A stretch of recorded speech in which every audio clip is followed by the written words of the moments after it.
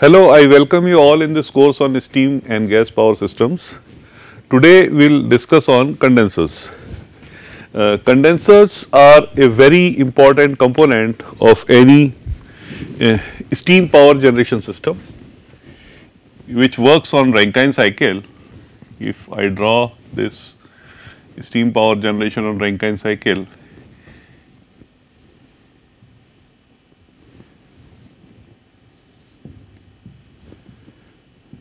1 2 expansion 2 to 3 and 3 to 4 and 4 to 5.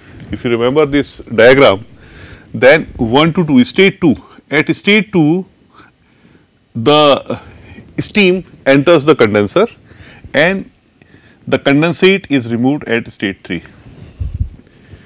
Now for steam power generations there are two devices one is uh, steam turbine and another is steam engine if we draw the PV diagram of a steam engine, it is something like this state 1 to state 2, 2 to 3 and 3 to 0. The ideal PV diagram for a steam engine. If you look at this side, this, this process is PV raised is equal to constant or PV raised to power 1.1 is equal to constant. If you look at the fag end of the, this is a reciprocating machine, the steam engine is a reciprocating machine. So, if you look at the fag end of the, in fact this curve is much flatter on this side. So, if you look at the fag end, if we maintain the vacuum, let us say vacuum of uh, uh, 50 bar, 50 uh, kilopascal or 0.5 bar. In that case, this part of the stroke will generate very little amount of uh, energy and power this power loss due to friction will be substantial. So, that is why in steam engines normally the condensers are not used. The steam is come steam comes out of the cylinder at a slightly higher pressure that is approximately 1.1 bar or 1.1 atmospheric so that it can go to the atmosphere. However, in the case of steam turbine because steam turbine is a rotary machine and it is used for high power generation. The order of power generation is very low in case of steam engine if you compare with the steam turbine. So, in steam turbine if we can maintain vacuum in the condenser more power can be generated because the, the, the, the work of turbine is nothing but H1 minus H2 we keep on increasing the uh, sorry we keep on decreasing the pressure in the condenser we will be getting more power here. But the issue is to what extent we can reduce the pressure. Can we go absolute vacuum? That is not possible. Or even say uh, vacuum of 0.05 or 0.95 bar that is also not possible. Because in the condenser heat has to be removed and normally in condensers heat is removed with a normal water which is available at the site and the water temperature is normally approximately we can say up to 25 degree centigrade or 30 degree centigrade right and for heat removal at least temperature difference of 10 degree centigrade has to be maintained. I am giving just approximate values. So, the steam temperature should not be less than 40 degree centigrade. Corresponding to that pressure, that pressure, uh, saturation pressure, we can expand the steam, right. And definitely the condensers in a, in a plant improves the efficiency because we are getting more power, right. So, output is increased, efficiency is also increased. If you look at the Carnot efficiency, it is 1 minus TL over TH. So, by putting the condenser we are reducing the TL lower temperature. So, efficiency is also increased efficiency of, of the uh, cycle is also improved. Once output is increased steam consumption is reduced. For the same output less amount of steam will be required in the system. Number 3 is thermal stresses.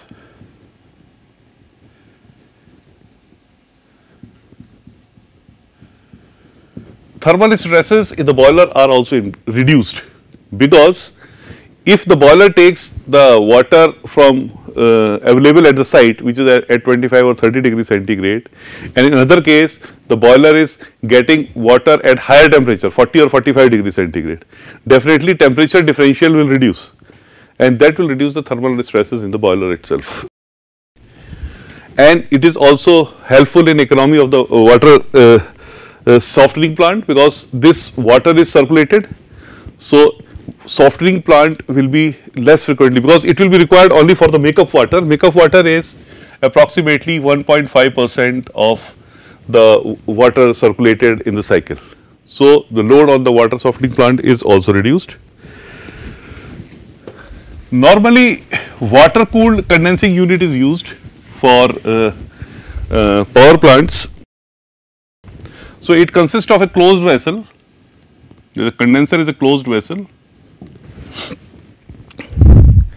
and it is a sort of heat exchanger. Normally shell and tube type of heat exchanger is used in the power plants. In shell and tube type of heat exchanger there is a big shell and it is fitted with a bundle of tubes. Cooling water is circulated in the bundle of tubes when high temperature steam, I will draw only one, one, one tube but there is a bundle of tube. When high temperature steam comes into the contact with the surface of this tube, Heat is subsequently transmitted to the cooling water which is flowing inside the tube. And steam get condensed and it is removed and the volume of steam is drastically reduced. Say at 0.1 bar, I will give you some figure. At 0.1 bar, the specific volume of the steam is 19.9 meter cube per kg but when it is condensed, it is reduced to 1.016 into 10 to power minus 3 meter cube per kg. So, there is a drastic reduction in the volume itself and the volume is reduced, a small pump fitted at the outlet of the condenser will increase the pressure. Because in the Rankine cycle, if you look at temperature entropy,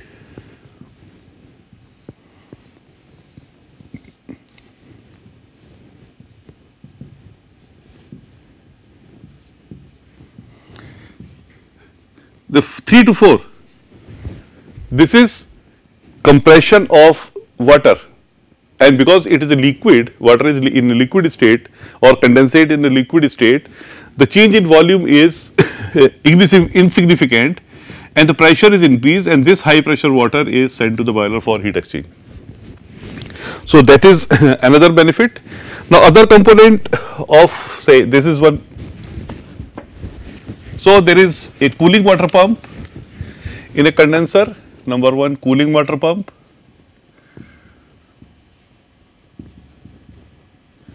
which is used for circulation of cooling water in the vessel. So, there is a tube. So, for the circulation of cooling water, there is a cooling water pump in a, in a condenser. Number 2, there is a feed water pump, feed water, feed water to boiler. So, another pump is connected to the condenser is a feed water pump. Teesra is cooling tower. Cooling tower is required because this water either we have once through system, water is entering from this side, drained from that side, then fresh water is entering from this side, then huge water will be required.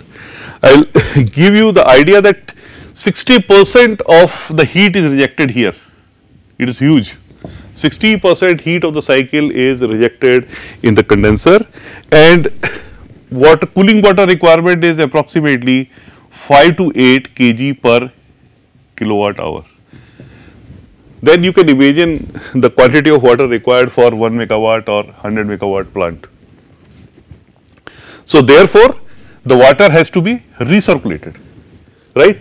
So, when the heat is taken away from the water, it goes to the, the heat is taken away by the water from steam, it goes to a cooling tower,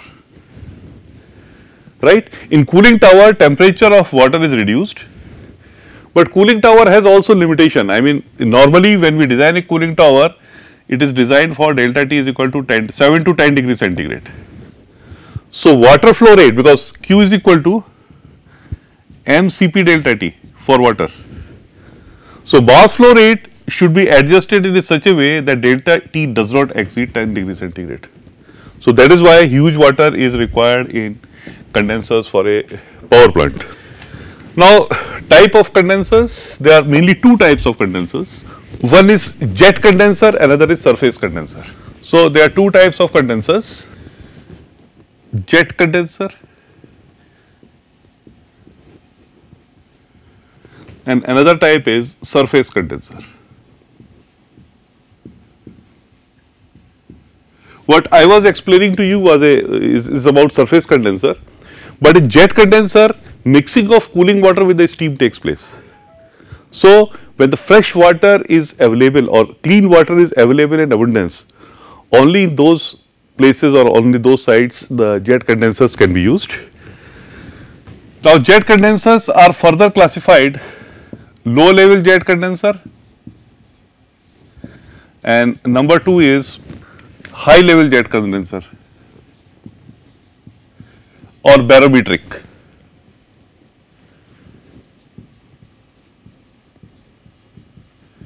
barometric jet condenser. Now, in low level jet condenser agar they are uh, classified parallel flow, counter flow and then parallel flow. So, surface condensers classified mainly broadly classified in two, two classes low, uh, low uh, level uh, sorry jet condensers and surface condensers and jet condensers are further classified as low level counter flow and parallel flow and high level or barometric condensers. Now, for a, a low level condenser there is a container shell and at the top air suction pump is required, air suction.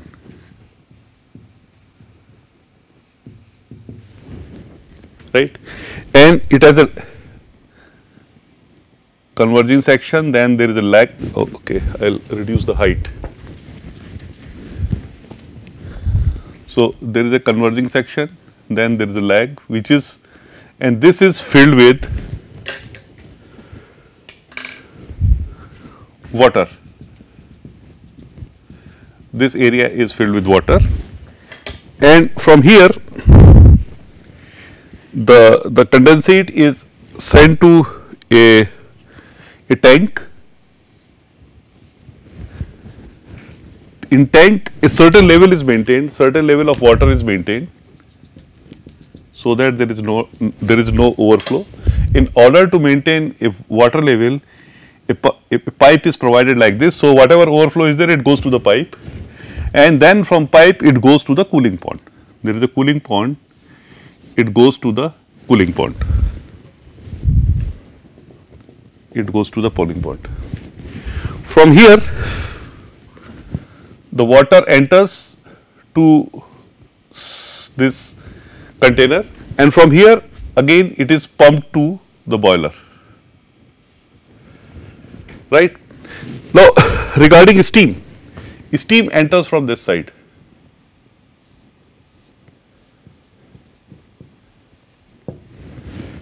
So, steam enters from this side, right. And from here, the water goes, enters in the shell, it is by a thermosiphon only because vacuum is created here so, the water level rises and it enters the shell from here. And water spray takes place. From here the water spray takes place and there are number of trays for breaking the water droplets and steam enters from the bottom, steam comes in the contact with the water this is steam which is entering from the bottom, it comes in the contact with the water coming from the top and the mixture goes to the leg of the jet condenser and subsequently it is sent to the uh, boiler. This is a counter flow type of low level jet condenser because steam and the water they flow in opposite direction.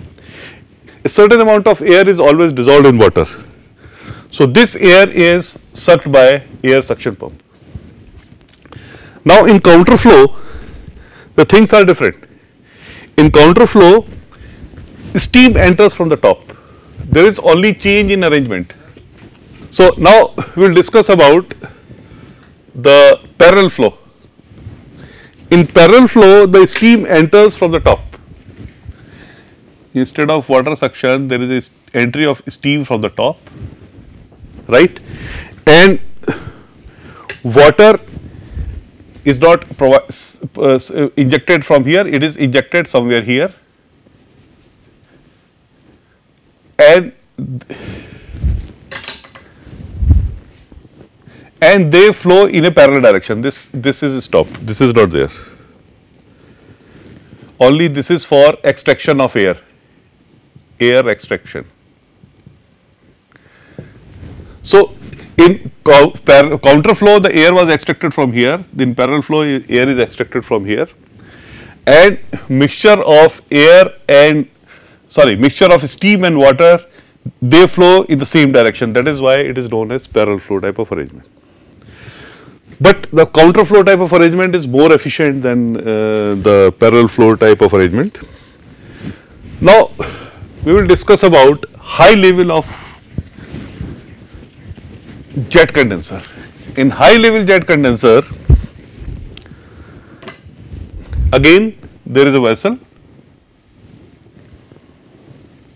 And the tail of this vessel or this leg, the height of this leg is more than the water column equivalent to 1 bar of pressure. That is uh, the height is approximately more than 10.36 meters it is equivalent to 1 bar pressure. So when it is put into the sump okay water when it is put into the sump water does not rise up to here. So, it rises up to normally it rises up to the height of uh, approximately 9 meters. Approximately up to the height of 9 meter and vacuum is clear. So, the benefit of this vacuum is that it the entire system works on a very low pressure. So, uh, more energy can be extracted when it is connected to the turbine and from here it goes to the water goes to the slump and from this slump there is a pump which pushes water into this vessel. Earlier in, in previous case in low level there was no pump, pump was not required to transmit water into the shell. But here a pump is required to transmit water which is available here into the shell. And when the water is transmitted to the shell, so they are baffles right? Baffles are used for a proper mixing of uh, steam, steam enters from this side. So, it is basically a counter flow arrangement, steam enter from this side in the in the in, in the shell and air is removed from the top, rest of the arrangements are same. So, this is uh, the schematic arrangement of high level of uh, uh, this uh, jet condenser. But normally in the power plants surface surface condensers are used. In surface condensers normally shell and tube type of condensers are used. In a shell and tube type of condenser as I explained earlier there are I mean if you uh, classify shell and surface condensers or then there is downflow downflow type central flow type, condensers and inverted flow type or number of passes single pass or multi pass. It can be 2 pass, 3 pass, 4 pass, I we call it multi pass. So, in a shell and tube type of condenser necessarily there is a shell right and it has bundle of tubes. This is end cover of the shell, end cover of the shell and uh, there are chambers. Water, sorry, steam enters from the top, steam and it leaves from the bottom, condensate. Right, and there are number of tubes here.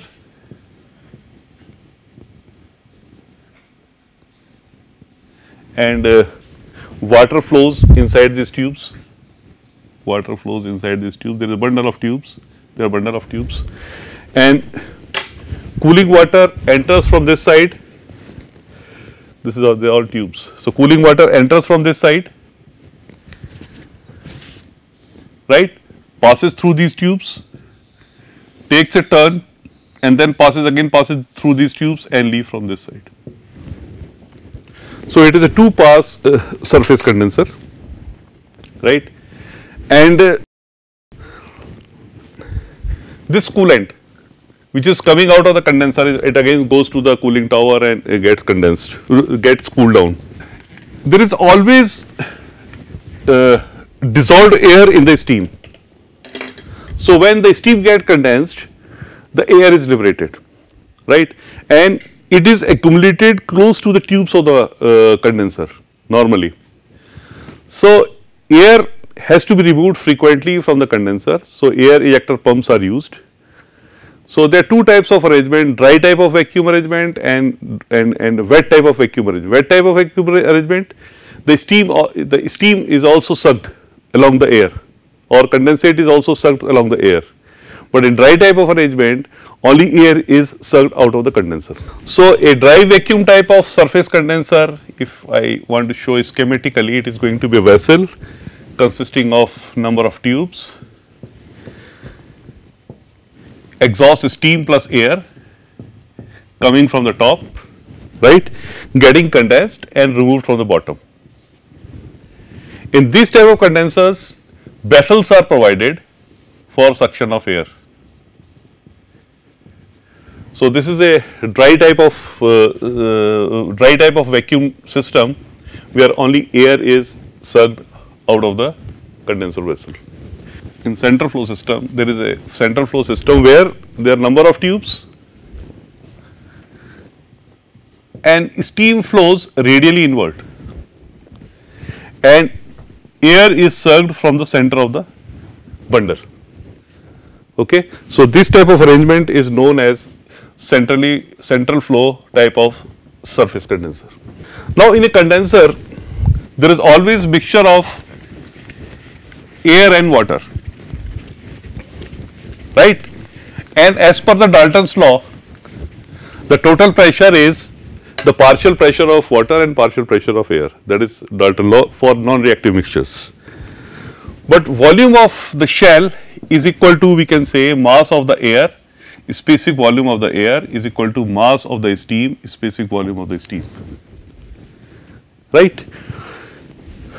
Total mass in the vessel is mass of the air plus mass of the steam is equal to mass of the steam 1 plus mass of the air divided by mass of the steam is equal to mass of the steam 1 plus specific volume of air uh, mass of the steam by mass of the air specific volume of steam divided specific volume of air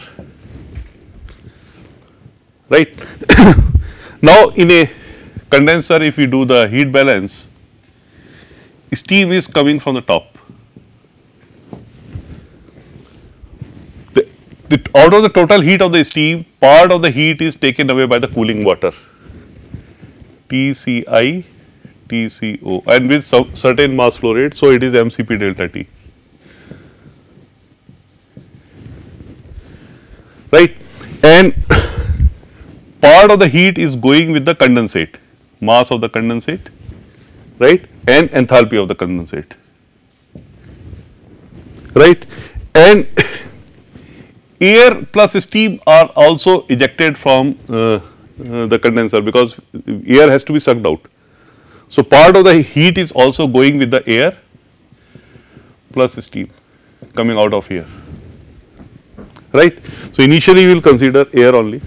So, suction is taking place and air is coming out of here if you do, we do the energy balance, then this is state 1, let us say this is state 1.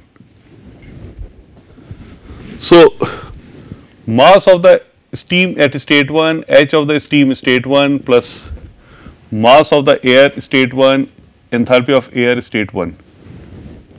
that is the total energy which is entering the vessel right is equal to heat transfer q plus this is heat transfer q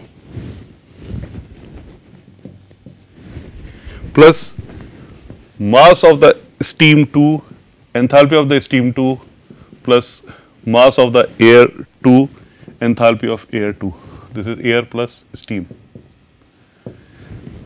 Right? Now remaining part is going with the condensate. Mass of the condensate and enthalpy of condensate 3 it is 3 this is the total energy balance. Now mass of the air whatever mass is entering it is leaving the vessel. Temperature of air is also constant because steam is getting condensed. So, it is getting condensed at constant temperature. So, both are equal they can be cancelled out. Because while doing the analysis it is often asked why you have not considered the air the heat heat carried away by the air or heat coming in with the air in the air in the vessel. So, they are cancelled out.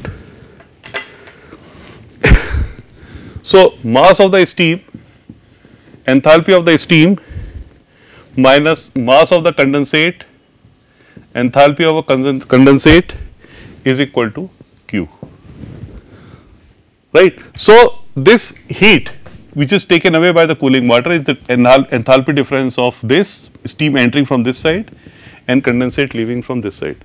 Air does not come into the picture. Now, we can further say that this is this enthalpy it is a, condensate can be in, in, a, in a liquid state or sometimes it is a subcooled liquid also. But for a properly designed condenser, a condenser has to be, I mean should not have any subcooled liquid inside.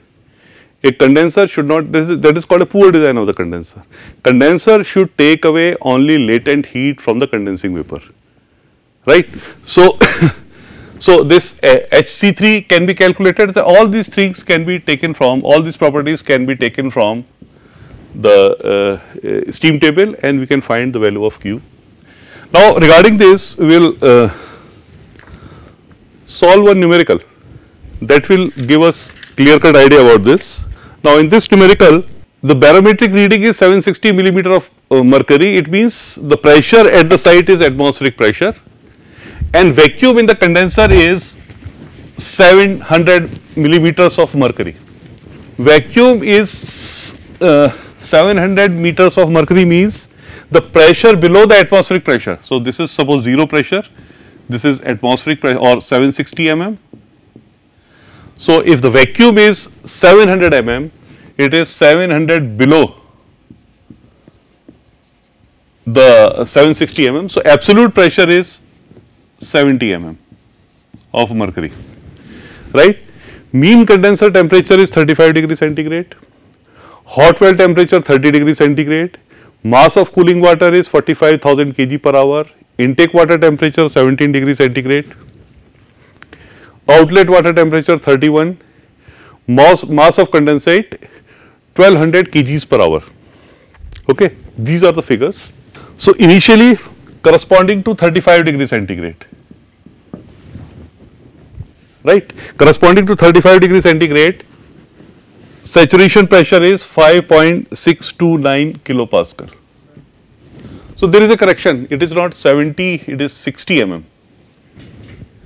because 760 minus 700 is 60. So, PS is this now corresponding to this 7 into 1.013 divided by 76 it comes around 7.997 kilopascal right. So, the pressure in the uh, condenser is 7.997 kilopascal. Saturation pressure corresponding to this is 5.629 kilopascal, right. It means there is some air and partial pressure of air is difference of these two. So, partial pressure of air is going to be the uh, difference of these two and it is going to be 2.368 kilopascal. Because partial pressure of air plus partial pressure of steam is equal to total pressure inside the condenser. So, mass of the air we can calculate is equal to PV over RT, right. Volume we can take 1, right. Pressure because pressure is uh, pressure of the air we can take from here to R for air is 0.287 kilojoules per kg Kelvin and temperature is 273 plus 35 right? And this will give the mass of the air as 0.02679 meter cube per kg right? Now steam is undercooled to 29 degree centigrade or uh, 30 degree centigrade okay? So q is equal to mass of the cooling water so q is mass of the condensate and enthalpy of the condensate so once we have the enthalpy of condensate now we don't have enthalpy of condensate because we do not know the state of the condensate because the vapor which is entering the condenser is a wet vapor so, at 30 degree centigrade, we will refer the steam table. At 30 degree centigrade, we will take the properties of steam. There is HF plus X HFG. So, it is mass Q is equal to mass of the condensate HS1 minus HWC. Now, HS1 is 146.63 we have taken from here uh, 146.63 at 35 degree centigrade plus quality 2417.87 that is latent heat minus 125.73 that is the uh, enthalpy of saturated liquid at 30 degree centigrade because uh, the condensate is subcooled to uh, 30 degree centigrade. Now from here Uh, now, we need to have the value of Q. Q is equal to 45,000 kg per hour, right, multiplied by 4.18 into 31 minus 17 and this we can take 36. This is the Q is in kilowatts, MCP delta T. Now, once we calculate the Q from here, we will put the value of Q here and we will get the value of X, right. Uh, okay, one thing more, it is kg per meter cube, not meter cube per kg. Okay, mass of the air is kg per meter cube. Okay, so Q is first of all what we have done. Q is equal to heat taken away in the uh, in, in the condenser is mass of the condensate, enthalpy of entering steam, and or sensible heat of leaving condensate. Right? Enthalpy of entering steam we do not know. Right? uh, this sensible heat of condensate is known to us because it is uh, the saturated enthalpy of the liquid at 30 degree centigrade. Q is not with us, Q we have taken from MCP delta heat that heat is taken away by the cooling water and from here by putting this value here we will get the value of x and the value of x is 0.9 right. This is the state of steam which is entering the condenser. Now, vacuum efficiency is now vacuum efficiency is defined as for any condenser is equal to actual vacuum divided by ideal vacuum. So, actual vacuum divided by ideal vacuum right. Now, actual vacuum is how much 60 millimeters of mercury or into uh, 1.013 by 76 bar or multiplied by 100 then it is kilopascal right divided by ideal and what is the ideal it is this 5.629 5.629 and this is 0.975 is equal to 97.5 percent. This is the vacuum efficiency of the condenser. Undercooling, condenser undercooling is because vapor is at, available at 35 degree centigrade and it is subcooled to 30 degree centigrade. So, it is subcooling is 5 degree centigrade. It is obvious from the data in the numerical and condenser efficiency. Now, condenser efficiency is the temperature rise in the cooling water divided by maximum possible temperature rise. So, temperature rise in cooling water is 31 minus 17 and maximum possible because temperature rise in cooling water cannot be more than 35 degree centigrade because 35 degree centigrade is the temperature of condensing steam. So, it is 35 minus 17. There is one more correction here. This is 760, 760 mm because this is in millimeters. So, this has to be in millimeters, right. And now, let us go back to this uh, uh, volumetric efficiency. This is going to be 14 by 18, it is going to 0 0.78 or it is 78 percent. So, efficiency of the condenser is 70, 78 percent, volumetric efficiency we have calculated 97.5.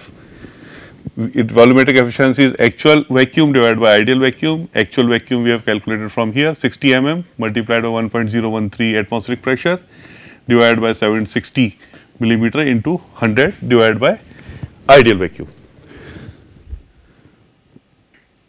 Right and this all we, we got uh, solutions for all the uh, required parameters in this numerical.